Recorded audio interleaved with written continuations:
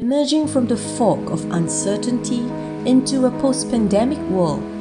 Dawn and Sublimation seeks to usher in a sense of hope, transformation, and renewal. In Dawn and Sublimation, Piano Recital Singapore 2022, Haiou Zhang presents the two most compelling Beethoven piano sonatas